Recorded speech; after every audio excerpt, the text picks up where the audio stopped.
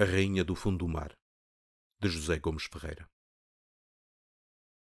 Deixem-me começar com uma máxima que, durante anos e anos de tratos de experiência, se foi condensando inconsciente no meu espírito para num belo dia aparecer, acabadinha e pronta, confinada nestas palavras.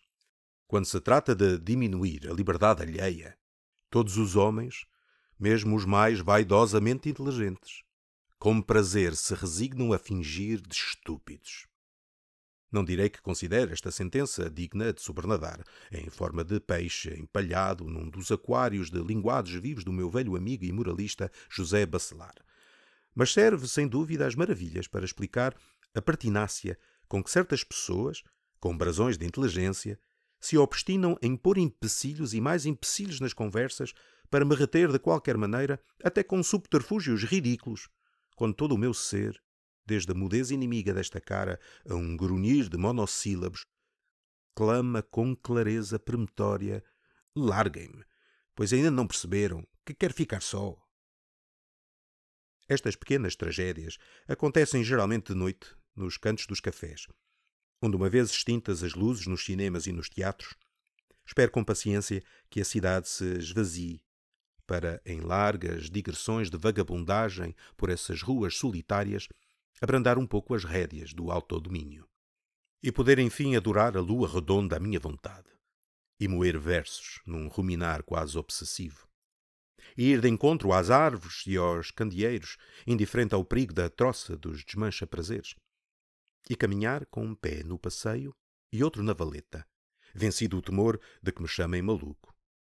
E, por fim, quando o sítio apresenta sombrinhas propícias, depois das piolhadas miudamente as portas e as janelas em redor para evitar intromissões indiscretas, entregar-me com volúpia à delícia suprema dessas peregrinações. Falar só. Sim, falar sozinho, em voz bem alta, sem vergonha da lua, velha companheira amarela dos vadios, dos cães e dos bêbados. Oh, para englobar tudo numa só palavra, dos poetas dificilmente acreditarão que nunca, nem nos concertos sinfónicos, nem durante a leitura de um livro de poesias, nem mesmo nessa noite memorável de comoção em que ouvi pela rádio Rafael Alberti recitar os seus poemas num comício colérico de Madrid. Nunca me lembro de ter sentido uma exaltação comparável à que algumas dessas noites de vadiagem me suscitaram, aos tombos por essas ruas que a solidão torna mais negras, porque, em suma, as vozes humanas também iluminam.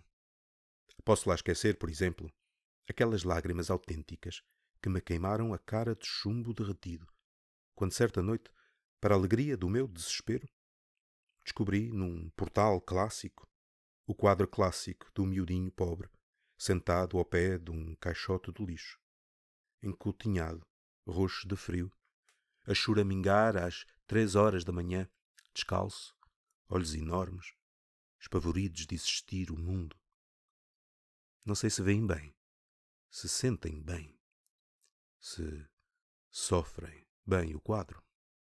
Três anos de carne humana, ali num portal ao relento, de mistura com as espinhas de um caixote de lixo. Chorei, pronto. Mas tão irado que me apeteceu alongar os braços. Alongar os braços? Alongar os braços para espufetear a cara enorme da lua, já que não podia vingar-me nos homens, também à bufetada, da dor inútil daquela criança. Para ali, sozinha, no meio do universo, a chorar.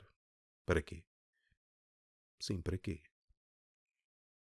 Anos antes, na primeira juventude, vivera momentos de excitação idênticos, quando com outros camaradas afins de poesia e boêmia mansa, vinhamos para a rua com um grãozinho na asa às vezes só bêbados de lua, praticar atabalhoadamente as proezas habituais da cidade, desde saltar os marcos postais até querer tomar banho nos lagos do Recio, rematadas sempre com o êxtase máximo de começarmos a dizer uns aos outros, aos brados, aos abraços, aos beijinhos, com os olhos úmidos de ternura, que íamos salvar o mundo. Não sei bem como nem quando, mas íamos salvar o mundo. Essa obsessão romântica perseguiu-me de tal maneira que, e, e recordo-me bem, acabei por dividir os homens em duas categorias distintas: os fixes, que queriam salvar o mundo, e os infames egoístas que se estavam nas tintas para esse deleite inefável. E persegui-me até tarde, porque quando parti de Portugal e pretendi de longe mover um amigo à piedade da minha solidão estrangeira, só encontrei este grito lancinante para lhe enviar numa carta. E ainda não conheci ninguém que quisesse salvar o mundo. Hoje que quase toda a rapaziada desse tempo, como a jovialidade nos saía aos borbotões dos olhos e da boca, trocou esse ingênuo salvar o mundo pelo salve-se quem puder de todos os naufrágios, só eu permaneço fiel ao velho vício da vagabundagem. Muito embora já não procure nas horas mortas a embriaguez fácil das quimeras antigas. Contento-me com o silêncio e já não é mau. Com efeito, numa cidade barulhenta como Lisboa, em que não existe o oásis de um parque de relva estendida para meditações, que mais pode fazer o pobre diabo de um poeta contemplativo se não esperar que os senhores pacatos se aferrolhem em casa e as últimas famílias se alonguem em val de lençóis para tentar, enfim, ligar dois pensamentos, dar corpo a uma sensação, fixar um poema, concluir um soneto. Tudo isto sob o santo signo da lua a aspergir a terra de silêncio.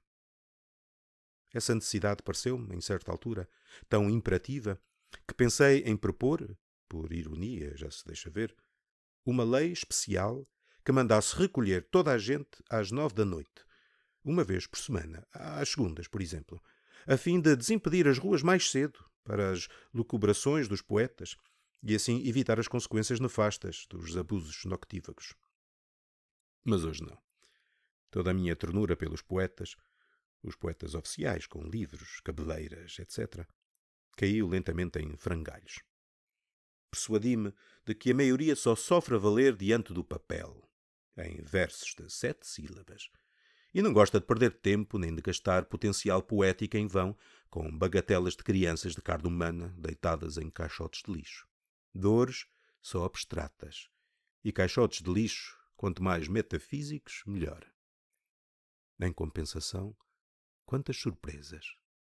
Quantas figuras imprevistas, compactas como casulos de onde rompem inopinadamente as borboletas azuis ou de outra cor qualquer da poesia.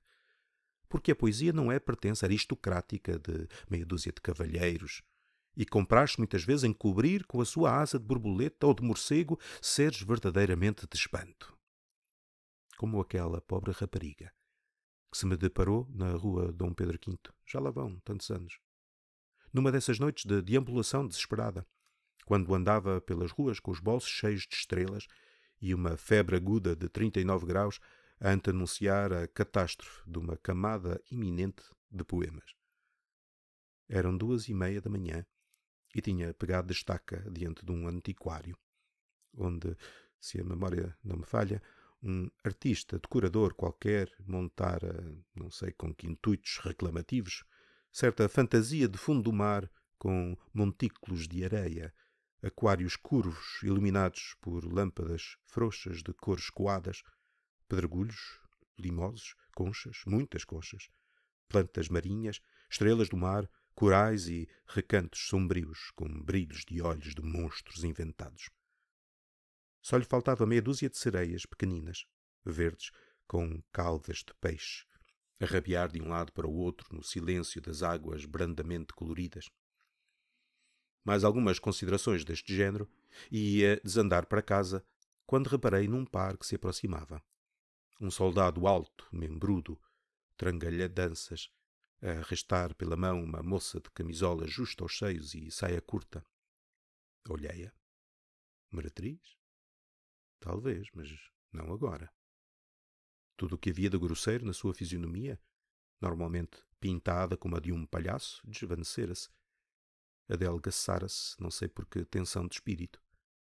E no charco boiavam duas flores puras nos olhos. Parecia deslumbrada com a montra. Anda! puxava o soldado, de olhos lôbregos, com pena de que o caminho fosse tão longo. Espera, Quer ver bem? murmurava a pequena, com um sorriso de tanto arrobo e tal enlevo na voz que me deixou perplexo.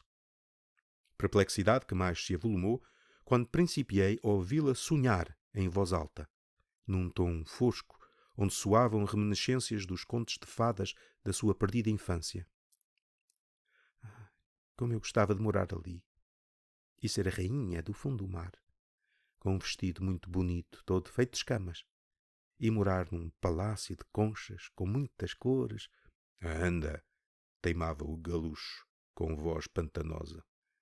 E ter muitos peixes às minhas ordens, numa cidade habitada por estrelas do mar. O extraordinário não era o que ela dizia, era o que ela não dizia. Num esforço de completar, com gestos e risinhos de procura, a sua narrativa a tropeçar nas palavras, em andés vãos de pássaro desplumado. Anda, insistia o soldado, impaciente de prosa. A rapariga acabou por encolher os ombros, numa resignação de viver. Depois olhou para mim e sorriu-me. Também lhe sorri. Compreendíamos tão bem. Andávamos ao mesmo, com os bolsos cheios de estrelas e de luas. Juro-vos uma coisa. Tenho conhecido, com intimidade até, dezenas e dezenas de poetas de todos os tamanhos, cores e feitios. Aristocratas, demagogos, proletários, género arte pela arte, profundos, fúteis, geniais, ótimos, bons, maus, péssimos, heróicos e palacianos. Pois juro-vos que até hoje ainda não tive a sorte de surpreender em nenhum deles um instante de arrebatamento tão poético como o daquela pequena de camisola justa aos seios e saia curta. Em contraste, quantos poetas com momentos de meretriz por essa vida fora.